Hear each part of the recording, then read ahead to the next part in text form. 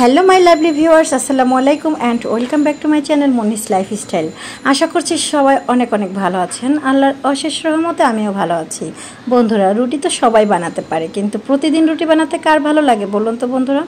আজকে আমি আপনাদের সঙ্গে শেয়ার করব কীভাবে আমরা একদিন রুটি বানিয়ে সপ্তাহ জুড়ে খেতে পারি রুটি সংরক্ষণ পদ্ধতি।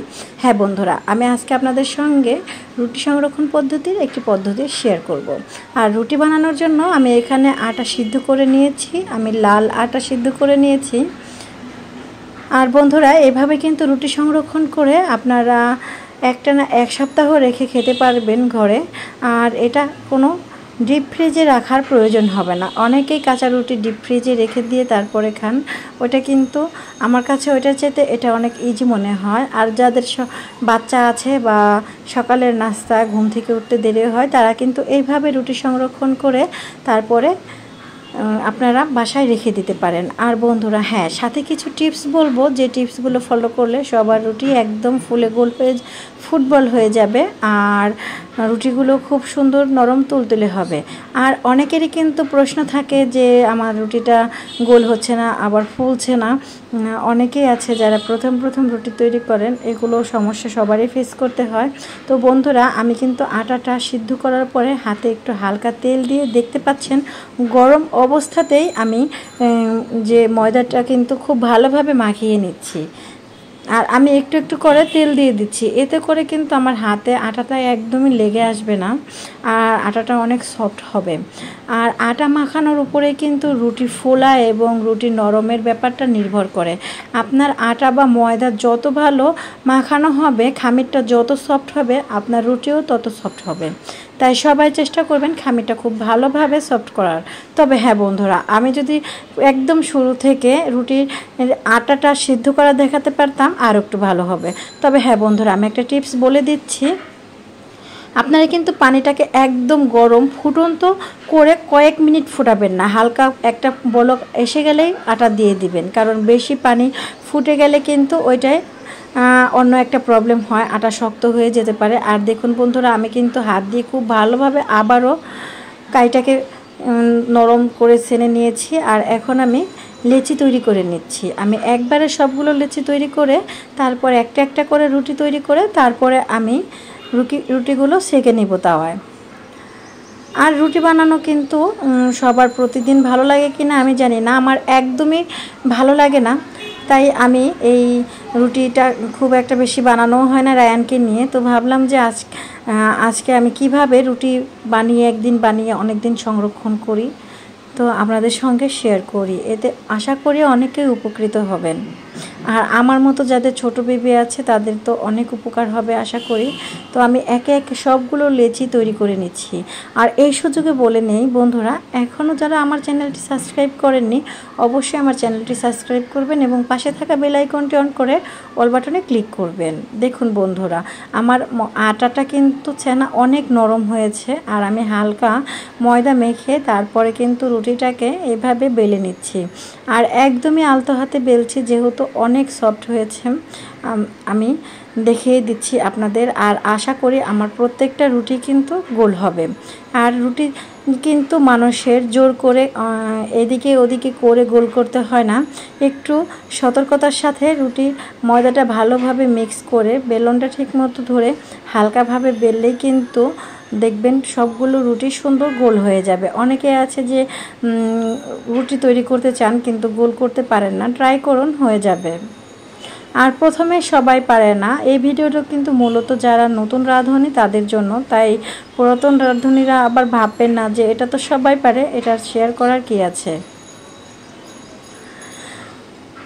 এভাবে আমি কিন্তু একে একে সবগুলো রুটি বানিয়ে নিব। আর আমি সব সময় রুটি বানালে এভাবেই একসাথে সবগুলো রুটি বানিয়ে তারপরে শেখে নেই। কারণ একটা একটা করে সেঁকবো আর বানাবো, এতে মনে হয় আমার আরও বেশি সময় লাগে। তার চাইতে আমি একবারে রুটিগুলো বানিয়ে তারপরে শেখে নেই।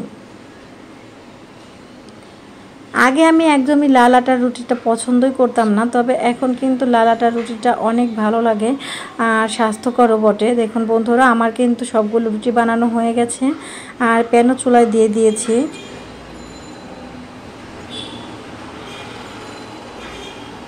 প্যানটা গরম হয়ে গেলে আমি একটা রুটি দিব, আর হ্যাঁ বন্ধুরা, রুটিটাকে আমি সেকবো, কিন্তু এই রুটিটা কিন্তু অনেকক্ষণ সময় ধরে সেকবো না। যে রুটিটা আমি সংরক্ষণ করব, সেই রুটিটা শুধু জাস্ট গরম প্যানে দেওয়ার পরে দুই তিন সেকেন্ড পরে কিন্তু আমি উল্টে দেব। উল্টে আবার, দেখুন বন্ধুরা, রুটিটা দেখেই বুঝতে পারছেন, শুধুমাত্র গরম হয়ে একটু শক্ত ভাব হয়েছে। এভাবেই আমি একটা করে ছেঁকা দিয়ে দুই পাশে এই যে হয়ে গেল, আমি একটা করে উঠিয়ে নেব। ঠিক একইভাবে আমি সবগুলো রুটি, যে রুটিগুলো সংরক্ষণ করব, একটা একটা করে এভাবে আমি রুটিগুলোকে সেকা দিয়ে নিব আর একটা ছড়ানো ঝুড়িতে রাখব যেন উপরে বা নিচে দুইভাবেই বাতাস যায় আর রুটিগুলো যেন সুন্দর ঠান্ডা হয়ে যায়। কারণ ছড়ানো ঝুড়িতে দিলে কিন্তু রুটিগুলো মেলে দিয়ে ঠান্ডা করতে ভালো হয়। গরম অবস্থায় রুটি একটার উপর একটা রাখতে যাবেন না, তাহলে কিন্তু ঘেমে রুটিগুলো আবার আটাগুলো লেগে যাবে। তাই একটু ছড়িয়ে দিবেন অথবা একটু সুতি কাপড় বা তাওয়ালের উপরেও কিন্তু আপনারা একটা একটা করে রুটি ছড়িয়ে দিতে পারেন। এতে করে রুটিটা খুব তাড়াতাড়ি শুকিয়ে ঠান্ডা হয়ে যাবে। আর ঠান্ডা হয়ে গেলে, দেখুন বন্ধুরা, আমার কিন্তু রুটিগুলো হয়ে গেছে। আর আমি এভাবে একটা জালিতে ছড়িয়ে দিয়েছিলাম, রুটিগুলো ঠান্ডা হয়ে গেছে। আর এখন আমি একটা রুটি সেকে দেখাচ্ছি, যে রুটিটা কত সুন্দর ফুলে উঠেছে। আর এভাবে কিন্তু লাল আটার রুটি তৈরি করে নিলেও আপনাদের খেতে ভালো লাগবে। কারণ ভালোভাবে সিদ্ধ করে যদি রুটিটা ফুলে, তাহলে কিন্তু লাল আটার রুটিও ভালো লাগবে। অবশ্যই বাচ্চারাও পছন্দ করবে বন্ধুরা। আমি এখন আমার আর রাব্বানির জন্য রুটিগুলো ছেঁকে নিচ্ছি, আর এভাবেই একটু নেড়ে চেড়ে দিবেন, কারণ একভাবে রুটি রেখে দিলে কিন্তু অনেক সময় একটু শক্ত বা পুড়ে যেতে পারে, চাপ ধরে যেতে পারে। তার চাইতে একটু হালকা হাতে যদি নড়াচড়া করিয়ে দেন, তাহলে কিন্তু রুটিটা দেখবেন যে শক্ত হয়ে যাবে না এক সাইডে এভাবে আমি সবগুলো রুটি ছেঁকে নিয়েছি। আর আমি যে রুটিগুলো সংরক্ষণ করব, এতক্ষণে কিন্তু ঠান্ডা হয়ে গেছে।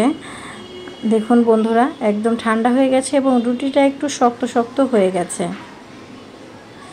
সবগুলো রুটি একসাথে করে নিচ্ছি। এখন আমি একটা প্লাস্টিকের এয়ারটাইট বক্স নেব, আর এই বক্সটা মূলত রুটিরই বক্স আপনারা আরফেল বা প্লাস্টিকের যে কোনো শোরুমে গেলে কিন্তু পাবেন যে রুটির জন্য, এখন রুটি সংরক্ষণের জন্য এরকম বক্স পাওয়া যায়। বক্সের ভিতরে আমি রুটিগুলো রেখে ঢাকনা দিয়ে ঢেকে নর্মাল ফ্রিজে রেখে দিব। আর বন্ধুরা, এভাবে রুটি রেখে কিন্তু আপনি পুরো এক সপ্তাহ খেতে পারেন। হ্যাঁ বন্ধুরা, আপনারা যদি মনে করেন যে আমি সেকে নিব না, তাহলে আপনারা আরও একটা কাজ করতে পারেন। কাঁচা রুটি, পলি অথবা কাগজের উপরে একটা একটা করে রেখে দিতে পারেন। ওইভাবেও নর্মালি রাখা যাবে তিন চার দিন, আর বেশি হয়ে গেলে পলিতে করে কিন্তু আপনি পনেরো দিনের মতো রুটি ডিপ ফ্রিজে সংরক্ষণ করতে পারবেন। তো বন্ধুরা, আজকের মতো এখানেই বিদায় নিচ্ছি। ভালো লাগলে লাইক কমেন্টস দিয়ে সঙ্গে থাকবেন। আল্লাহ হাফেজ।